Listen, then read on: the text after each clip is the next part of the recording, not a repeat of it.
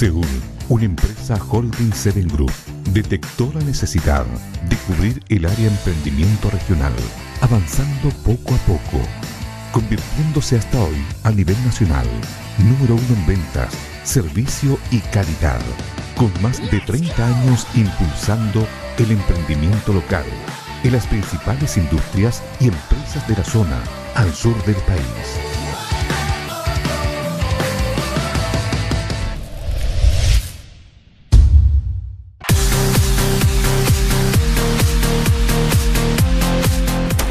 Las mejores marcas en un solo lugar.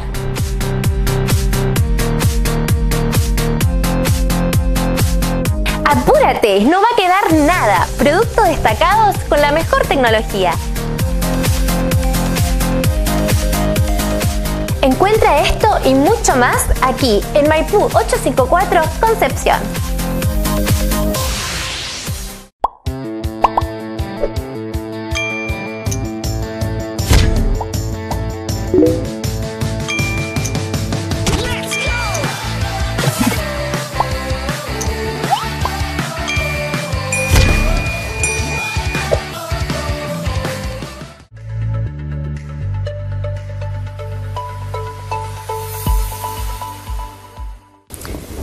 Dar gracias a Dios en esta hora por poder estar una vez más en este programa televisivo que ha permitido Dios, a través de su misericordia y de su amor, de poder hablar de la palabra del Evangelio de nuestro Señor Jesucristo en esta hora, de poder predicar el Evangelio, un Evangelio de transformación, un Evangelio de respuestas, de bendición, un evangelio de sanidad, un evangelio de, milagros, de promesas. Dar gracias a Dios en esta hora por eso, porque tenemos la oportunidad que Dios nos permite a través de este medio de comunicación como es este punto cristiano, unidad evangélica, de estar acá distintos ministros, pastores, apóstoles, llamados por Jesucristo, siempre digo lo mismo, eh, tener la, bendición a través de los profetas, de los evangelistas, y todo apunta solamente al reino de Dios y su justicia. Eso es importante para nosotros como cristianos, como personas que servimos, como servidores de, de Dios, de Jesús, habiendo aceptado su llamado, obedecido al llamado, para nosotros hoy día hablar del Evangelio, del producto del Evangelio, hablar de lo que Jesucristo hizo mientras Él estuvo acá en la tierra. Jesucristo hizo muchas cosas estando acá en la tierra. Tuvo también muchos seguidores como también muchos opositores. Nosotros hemos hablado de las parábolas de Jesucristo, hemos hablado de del el juez injusto y la viuda. Hemos hablado de la moneda perdida, del hijo pródigo. Hablamos también del rico, de los dos hermanos que pidieron su herencia. Hemos hablado mucho de la palabra del Evangelio, donde el, resumen hasta hoy creo, y por eso yo le hablo a usted en este, en este momento, quiero decirle que esas palabras que Jesús nos habló a través de esta Santa Biblia es para que usted haya recibido, si usted estaba alejado, usted haya recibido la palabra, la oportunidad que Dios a usted le entregó para volverse a Cristo, para volver al Evangelio. Cuando usted escuchó la palabra de la oveja perdida, si usted se extravió también, usted vio que Jesús lo fue a buscar también Jesús usted le dio la oportunidad de volver al redil. Ahora, ¿cómo está usted en este momento? Usted recibió el llamado, aceptó la palabra de Dios. Lo hizo como el hijo pródigo, se reconoció que usted se había alejado de Dios, que había pecado contra Dios, que le había fallado y que la decisión que tomó fue equivocada. ¿Reaccionó usted a eso? Porque la palabra de Dios es para eso, para que usted haya entendido, haya reaccionado, se haya vuelto y se había pecado, se haya arrepentido de su pecado, sabiendo que su padre le estaba esperando con los brazos abiertos, como lo hizo con uno de sus hijos. Para que si usted estaba en la posición del hijo mayor, que le dio celo por cuando volvió el hijo pródigo que había muerto, que había revivido, para que usted examinara en su corazón cómo estaba su amor hacia su hermano, su hermana, ¿Qué ha pasado en todo este tiempo de que se ha hablado la palabra de Dios? Recuerde que la palabra de Dios es para ser uno salvo. Si esa es la finalidad del Evangelio, la finalidad es que nuestras almas sean salvas. Recuerde que tenemos dos lugares, tenemos una vida eterna en el reino de los cielos para salvación de nuestra alma, pero también hay otra vida eterna, que es en el infierno, y el infierno mismo será tomado y arrojado al lago de fuego, donde ahí el fuego nunca se apagará. Entonces, ahí el soberbio, el soberbio arderá como estopa. Y esa es la afinidad del Evangelio, de lo que hemos predicado hoy día. Para que usted vea que la misericordia de Dios está presente en usted hasta el día de hoy. Por eso el Señor le ha hablado a través de estas parábolas, le ha mostrado distintas cosas situaciones. Entonces yo quiero ahora recordarle a usted todo lo que hemos dicho y preguntarle ahora en este momento, ¿qué ha hecho usted con lo que Cristo le ha dado? ¿Ha tomado la oportunidad? ¿Ha tomado la bendición? ¿Ha vuelto? ¿Se ha vuelto usted a Cristo? ¿Se ha arrepentido usted? ¿Se ha dado cuenta que tomó una mala decisión, estar lejos y que le fue mal? ¿Ha reconocido que, que estar lejos de Dios es pérdida de salvación, de alma? Recuerde, que hay promesas, hay recompensas y también hay pérdidas.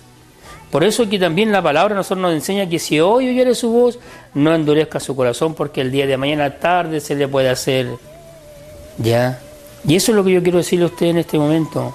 Y ahora mire, yo quiero hablar también de, de no solamente de los llamados, sino que también de la misericordia, de los milagros, de la sanidad que Jesucristo hizo estando acá en la tierra. También él sanó a muchos y dio muchos ejemplos. Yo quiero hablarle a usted que qué es lo que hizo Jesús también y la diferencia de Jesús a los hombres. Entonces yo quiero que usted habla, abra su Biblia en San Lucas capítulo número 5, versículo número 12. Y vamos a hablar acá cuando Jesús sana a un leproso. Cuando Jesús sana a un leproso. Y vamos a hablar de las consecuencias del leproso. Lo que vivía el leproso. Cómo vivía. ¿Cuál era el resultado de ser leproso? ¿Y por qué le venía la lepra? ¿Qué había en su cuerpo? Eso es lo que yo en esta hora voy a hablar a través de esta palabra de nuestro Señor Jesucristo. Sucedió que estando él en una de las, de las ciudades se presentó un hombre lleno de lepra, el cual viendo a Jesús se postró con el rostro en tierra y le rogó diciendo, Señor, si quieres puedes limpiarme. Entonces Jesús extendió él la mano, le tocó diciendo, quiero, sé limpio. Y al instante la lepra se fue de él y él le mandó que no le dijese a nadie, sino ve, le dijo, muéstrate al sacerdote y ofrece por tu purificación, según mandó Moisés para el testimonio a ello. Pero fue su fama se tendía más y más y se reunía mucha gente para oírle y para que le sanase de sus enfermedades. Mas él se apartaba a lugares desiertos y oraba. Dios bendiga la lectura de esta palabra. Como vemos acá lo importante de la oración en nuestro Señor Jesucristo. Todo lo hacía Jesús con oración el versículo número 16, Lucas, acá dice que pone énfasis más que los otros autores de los evangelios en la importancia de la oración en la vida y en la obra de Jesucristo. Eso es lo primero. Lo que Lucas hace entender de la importancia de la oración en Cristo para hacer todo lo que hacía. Y el Espíritu Santo bajo, perdón, el Espíritu Santo bajó sobre Jesús en el Jordán mientras él oraba. Importante la oración. Entonces, antes de escoger a los doce discípulos, Jesús oró en privado antes de hacerles una pregunta importante a los discípulos. Jesús oró en la transfiguración. Jesús subió al monte a orar. Y ahí la transfiguración ocurrió algo grande mientras él oraba, el producto de la oración. Por eso que la oración es importante, hermanos, en el creyente, en el Hijo de Dios. Jesús para hacer este, estos milagros permanecía en la oración. Y por eso acá yo estoy conversando con usted que dice que Jesús cuando estaba eh, orando, antes enseñar a los discípulos y después cuando se junta a orar la transfiguración, algo sucedió ahí. Ya lo dice acá la palabra. Ocurrió algo importante. Entonces, en la última cena le dijo Pedro que había orado por él. Eso dijo Jesús, que había orado por él en Getsemaní. Oraba intensamente Jesús. Ahora, Jesús también oró por otro, ¿sabe dónde? En el momento, en el último momento, en la cruz. También oró, ¿ya? Entonces, qué importante es la oración. Y las últimas palabras que pronunció antes de su muerte fueron una oración. Qué importante es la oración. Jesús, siendo el Hijo de Dios, permanecía constantemente en la oración. Y todo, como usted escuchó acá lo que yo acabo de leer, todo lo que él hacía lo hacía primero con la oración. Antes de llamar a los discípulos, oró. Antes de hacer un milagro, oró. Cuando fue a Getsemaní a orar, cuando fue, estaban orando allá en Getsemaní, cuando una, hubo también una importante aparición. Todo se produjo aparte. ¿Por qué? ¿Por qué? Porque la oración estaba en Jesús. Y las últimas palabras que pronunció Jesús ante su muerte también fueron oración. Él oró después de su resurrección. Al examinar la vida de Jesús en los otros evangelios podemos notar que oró frente a la tumba de quién? De Lázaro. Entonces qué importante es la oración. Todo lo hacemos a través de la oración. Recuerde, Jesús estaba orando y recibió el Espíritu Santo. ¿Ya? Entonces todo lo vemos a través de la oración. Jesús oró cuando Lázaro estaba muerto en la tumba. También lo hizo ahí. Y durante la institución de la cena del Señor, también Jesús oró. Qué importante es la oración, hermanos, hermanas, televidentes. Qué importante es orar delante de Dios. Pero acá nosotros estamos sabiendo ahora un milagro de un hombre, de un hombre leproso. ¿Qué pasaba con los leprosos en ese tiempo? Los leprosos eran esclavizados, eran intocables. ¿Por qué eran esclavizados? Porque tenían que estar en un lugar preciso y ellos nadie se podía acercar a ellos. Entonces, ellos eran intocables porque nadie los podía tocar. Eso era el leproso. Apartado, esclavizado, intocable. Y eran rechazados por quién? Por la sociedad. ¿Ya? Ahora, ellos no podían acercarse a nadie. Esa era la condición del, del leproso. ¿Por qué no podían acercarse a nadie? Porque ellos se consideraban inmundos esa era la vida del leproso que se acercó a Jesús. Y yo quiero, antes de, llegar al tema principal, decirle la condición que era este leproso. Y los leprosos todos eran esclavizados, eran intocables, rechazados por la sociedad. ¿Ya? No podían acercarse a nadie. Eran discriminados en ese tiempo. Vivían ellos por, lejos porque eran inmundos y para poder ellos caminar en medio de los demás tenían que taparse con un manto negro. ¿Ya? O sea, en otras palabras, eran como un muerto viviente, digámoslo así. Esos eran los leprosos. eran despreciados. Ellos no podían andar con nadie y tenían que andar a dos metros de distancia y lejos de la sociedad, viviendo en cuevas, eran destinados a las cuevas. Ahí ellos están esclavizados, era su vida y... Pero vamos a ver la diferencia de Jesucristo con estos hombres. ¿Qué es lo que sucedía entonces? Si, entonces, en ellos, ¿qué había en la, pensemos que había en la mente de, de estos leprosos? Había un dolor emocional, habían sentimientos, porque ellos adquirieron esa enfermedad. ¿Y cómo era esa enfermedad, esa lepra? ¿Usted sabe cómo era la lepra? Se le corcomía la nariz, su carne caía a pedazos. Por eso dije un ejemplo, eran como los muertos vivientes. Entonces ellos tenían un dolor emocional, tenían problemas mentales, ¿ya? Porque eran sucios, eran inmundos, ¿ya? Eran impuros, eran incurables.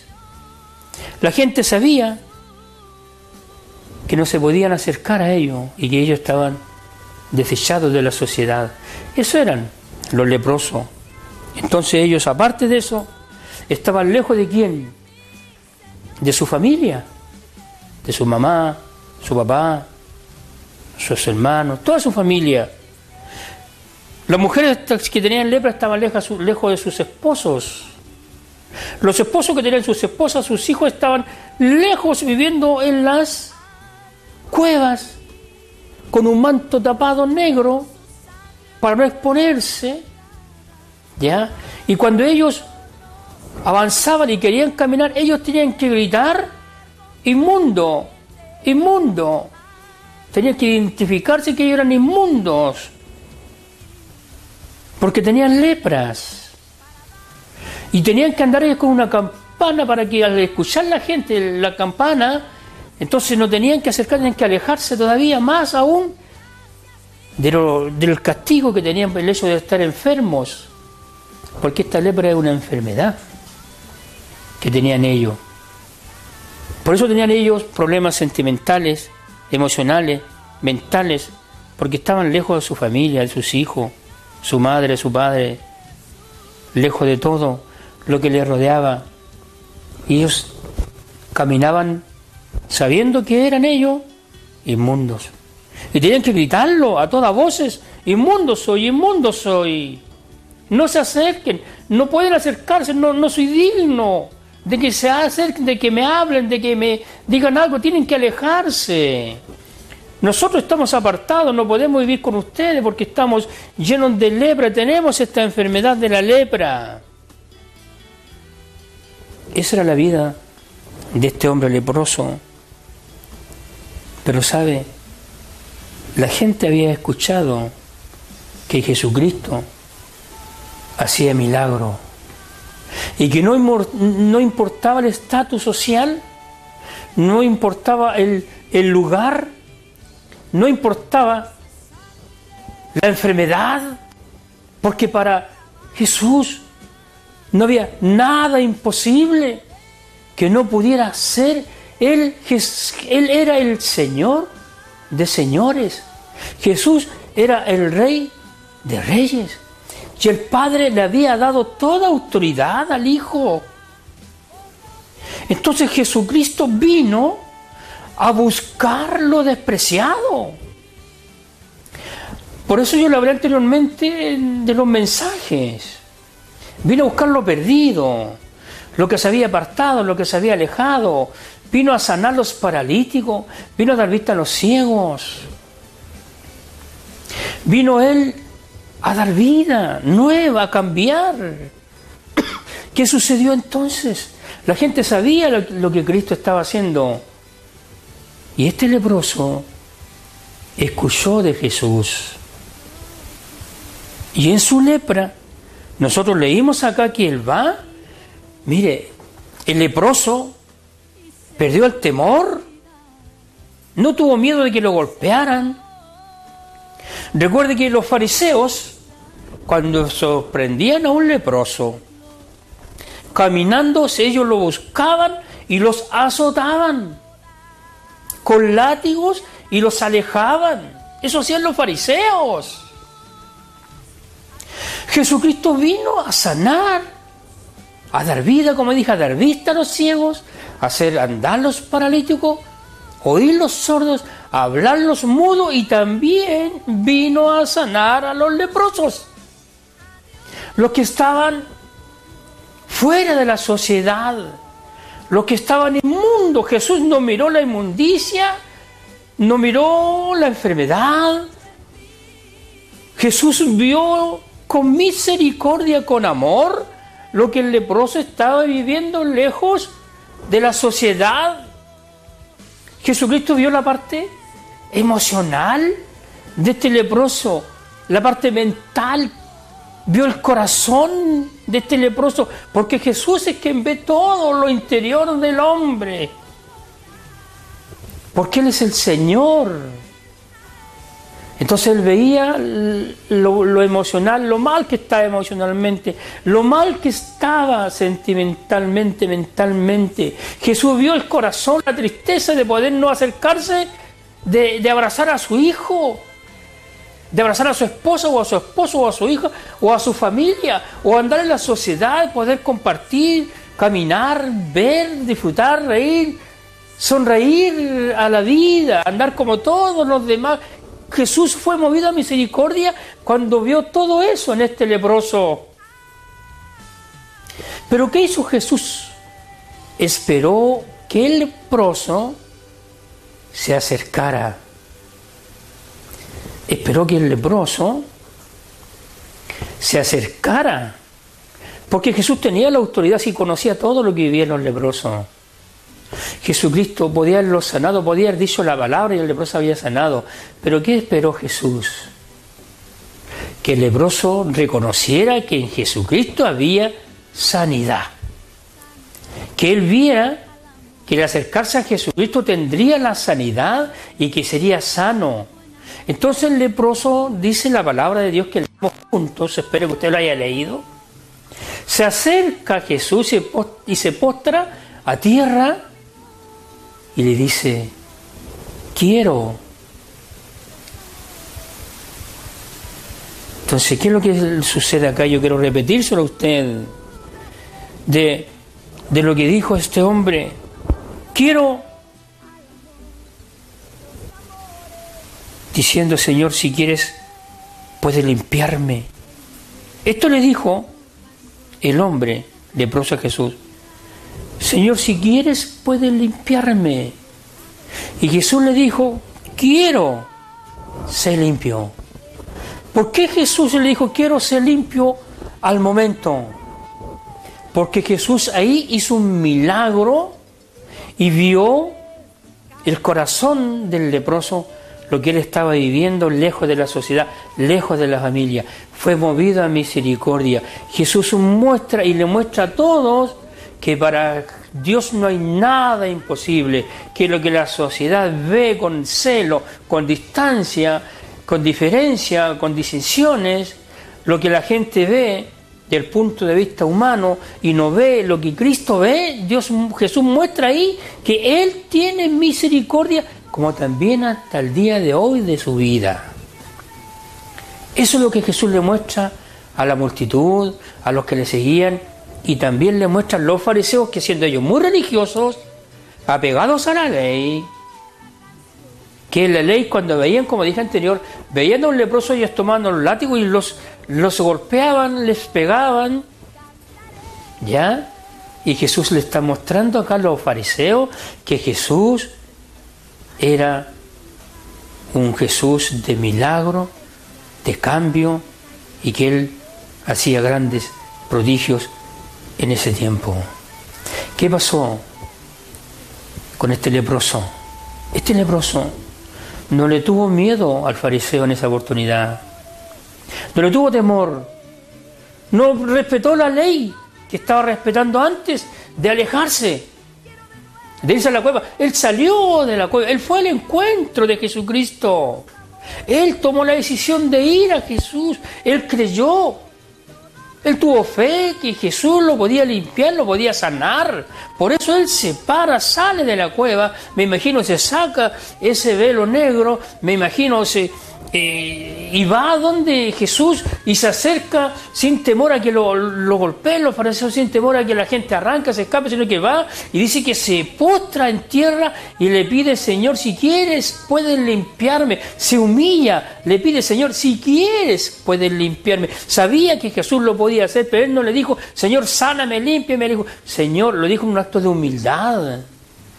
Porque nosotros tenemos que ir a Jesús con humildad pedirle a nuestro Señor Jesucristo con humildad las cosas. Entonces, cuando Jesús vio la fe, la confianza de este leproso, y cuando ve la humildad que se postra en tierra, entonces Jesús le dijo, quiero, sé limpio. Y al instante, al instante, fue limpio, fue sano. Imagínense la, la expectación toda la multitud, toda la gente, el fariseo, los fariseos, ¿cómo quedaron? ¿Cómo, cómo pensaron? ¿Cómo se miraron unos con otros? Vieron la misericordia de Jesús, vieron la autoridad de Jesucristo, vieron el amor de Jesucristo, vieron la compasión de Jesucristo, porque ese es nuestro Señor Jesucristo, es un Dios de amor, de misericordia, de compasión pero también espera que nosotros vengamos a Él, no todo nos, lo hace Él directamente, también sí Él hace muchas cosas, pero también espera que nosotros vengamos a Él y expongamos nuestra situación para que Él a nosotros nos pueda entonces decir, sí quiero. Si esta lepra de este hombre salió inmediatamente. Ahora, yo quiero decirle que, ¿qué pasó con los otros leprosos? La palabra dice que Jesucristo después sanó a muchos leprosos más. Y entonces usted ve la misericordia de Dios, de Jesús. Ahora, dice aquí la palabra de Dios que Él le dice también una cosa. No te muestres a nadie. Le da una orden. Ve y acércate al sacerdote. Y ahí ofrece por tu purificación según mandó Moisés, ¿para qué?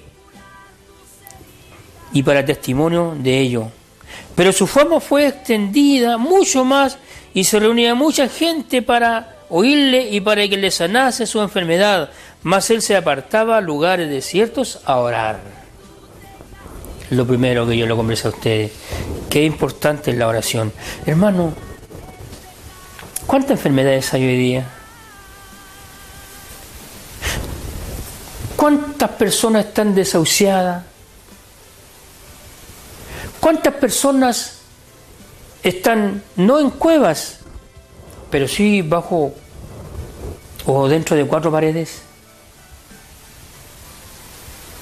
Hermanos, televidentes, ¿cuántos están hospitalizados? ¿Cuántos están desahuciados? Porque el leproso era desahuciado, él iba a morir si la, final, la finalidad del leproso moría. Ese era el final. Pero Jesús aquí vino a darle vida. Vino a sanar, vino a, dar, a hacer un milagro en este leproso. Ese Cristo de ayer es el mismo de hoy. Y también usted se puede acercar a Jesucristo. Pero tiene que hacer en señal de humillación también mire, Jesucristo tiene poder y lo ha hecho de sanar. Muchos desahuciados con cáncer, muchos con sida. Hay distintas enfermedades, hay distintas lepras hoy día, de, mirando el punto de vista de enfermedades. ¿Ya? Pero, ¿qué tenemos que hacer nosotros hoy día? Orar orar y acercarnos a Jesús en humillación como este leproso que se acerca, después de estar, mire, mire el cambio que hace Jesús cuando se acerca a uno con decisión, cuando le cree, cuando tiene confianza, fe, seguridad. Emocionalmente estaba mal, mentalmente estaba mal, era un muerto viviente, era sucio, estaba inmundo, tenía su corazón triste, su corazón apagado, sin vida, sin latidos normales, porque estaba esperando el momento de la muerte. Era impuro. No tenía curación. Pero ¿qué tomó él de todo lo que tenía? Él sabía que iba a morir. Lejos de la sociedad, lejos de su mamá, su papá, su familia. Pero él toma la decisión de acercarse a Jesús, de postrarse en tierra y pedirle a él, si quieres puedes limpiarme. Y Jesús le dijo, quiero, se limpio. Que el Señor te bendiga. ¿Qué tipo de enfermedad tiene usted? ¿Qué tipo de pecado tiene usted? ¿Está apartado usted de la sociedad? ¿Está lejos usted de su familia? ¿Está avergonzado? ¿Se siente usted fuera de la sociedad? Yo le invito a que se acerque a Jesús en esta hora, a que postre su rostro delante de Jesús. Él está presto a escucharle. Y como le dijo a este leproso, quiero ser limpio, él a usted también puede decirle en, en este momento esta palabra, quiero. Y le puede responder. Pero ¿cuál es su enfermedad? ¿Cuál es su lepra? ¿Qué está haciendo usted? ¿Está ahí? ¿Se va a quedar ahí? Sabiendo que ahora Jesús le da a usted la bendición, la oportunidad de que usted venga y se postre en tierra y clame a su presencia. ¿O todavía va a estar usted como este leproso con dolor emocional, mental, con su corazón contrañido. ¿Va a seguir usted en la condición que está? ¿Va a seguir usted con esa lepra que tiene? Hay distintas hoy día. ¿Qué tiene que hacer usted? ¿Qué está haciendo Jesús en esta hora? A través de su palabra le está llamando a que usted venga y se postre su rostro en tierra y le diga, puede, si quieres, puedes limpiarme y Jesús le va a decir, quiero ahora, en el momento, en el instante, que usted le pida, que usted se acerque, que deje todo lo que se lepra, que deje todo lo que es desagradable, todo lo que a Dios no le, no le, no, le gusta, no, le pertenece. Si usted deja todo lo, mundano, todo lo que a Dios, lo que usted le contamina, si todo lo que usted le contamina en la sociedad, si usted lo deja todo y viene a Jesús, Jesús lo va a limpiar, lo va a cambiar, lo va a sanar. Y eso es lo que Jesús en esta hora le está diciendo, como tomando esta palabra del leproso. Jesús no fue, sabía que estaba el leproso, sabía lo que había, la emoción, lo mental en el corazón, sabía que andaba cubierto de negro, sabía que los fariseos lo golpeaban, sabía que tenían que gritar, inmundo soy, sabía que están lejos de la sociedad, lo sabía. Jesús no fue donde ellos. Esperó que el leproso fuera donde él y Jesús lo sanó. Y a través de sanarlo a él, sanó a muchos leprosos más. Y luego, ¿qué hizo Jesús? Fue y se partó a orar. Que Dios te bendiga.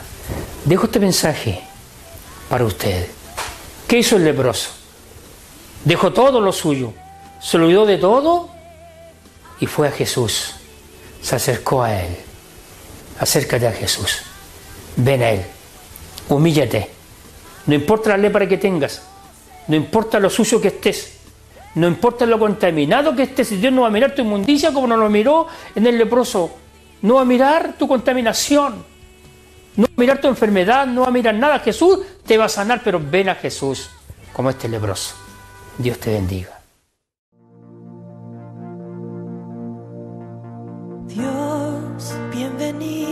Este lugar y en nuestro corazón venías tu voluntad. Dios, te queremos conocer con tu fuego abrazado. Ven y muévete otra vez. Espíritu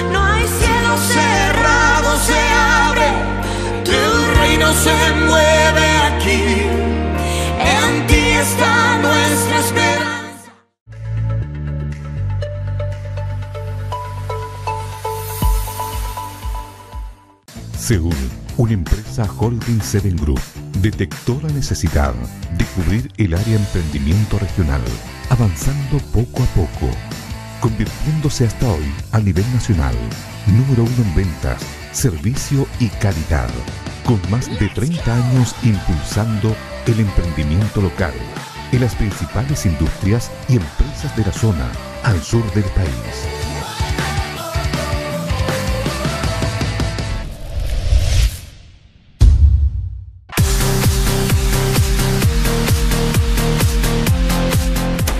Las mejores marcas en un solo lugar.